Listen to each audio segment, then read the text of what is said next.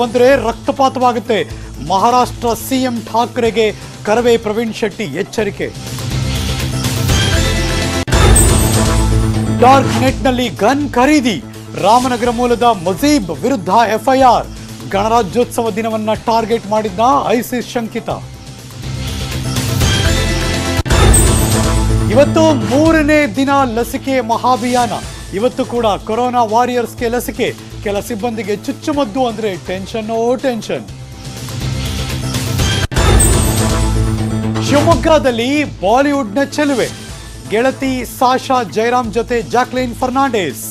ಮಲೆನಾಡಲ್ಲಿ ಗಾಲ್ಫ್ ಆಡಿದ race three beauty.